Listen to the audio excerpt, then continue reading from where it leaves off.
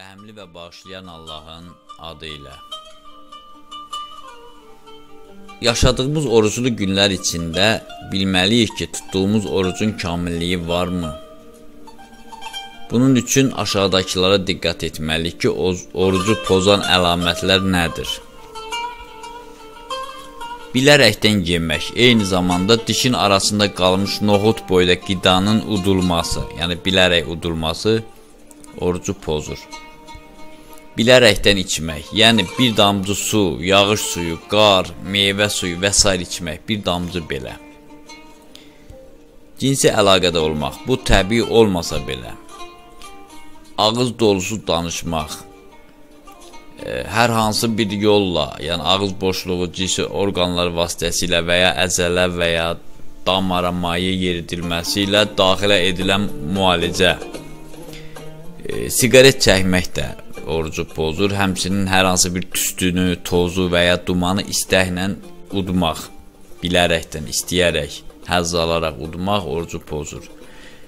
İnsan qidası üçün nəzərdə tutulmayan, yəni dodaq boyası, torpaq, dəmir, daş, qum, e, çəyirdək və ya fındıq və s. şeylərin udulması Yəni bunların da udulması orucu pozur. Əgər bu şeylər çeynənilərsə, qəza ilə birlikdə kəffarəsi də lazım gəlir. Yəni əlavə bir gündə tutulmalıdır ondan başqa. Öz qəzası və əlavə bir gündə tutulmalıdır. E, əsas mübahisə məsələləri orucu poz pozmayan şeylərdir. Nə pozmur? Hansı hallarda bizə pozulan görünən pozulmur.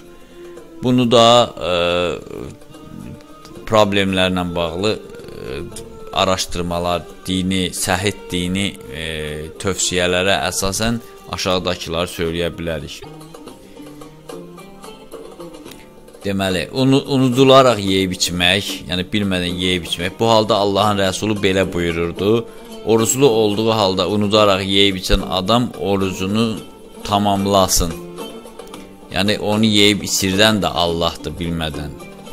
Yəni bu, yəni axıra qədər tutsun. Başqa bir hədisdə isə belə deyilir: Ramazanda unudaraq orucunu pozan kimsəyə qəza, qəza və kəffarəti lazım gəlməz.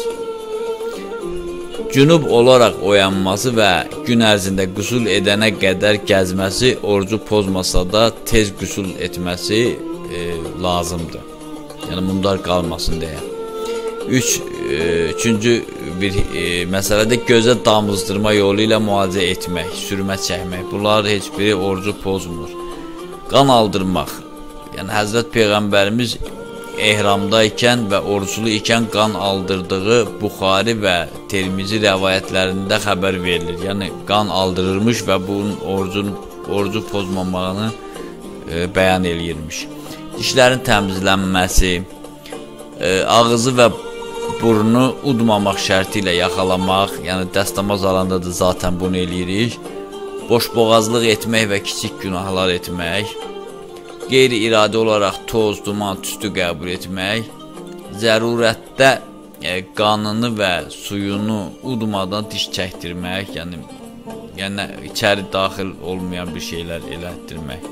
Yəni dişi çəkdirmək olar, onun qanını, suyunu, e, çirkini udmamaq şərti ilə e, ağız suyunu udmaq və burun suyunu yuxarı çəkərək boğaza ötürmək, yəni xaricə çıxmaması olması şərti ilə. E, yəni onlar da pozmur. Az miqdarda qusmaq, belə ki, ağızdakı qalığı udmamaq şərti ilə. Ağız boşluğundakı noxuddan kiçik bir şeyin unudul udulması, yəni yuxarıda pozanların noxuddan böyük olduğunu şərt kimi dedim. Amma noxuddan kiçik olarsa pozmur. Yəni bilmədən ağzın ağza gedir. Hər hansı bir ətri iyləmək e, də pozmur, orucu pozmur.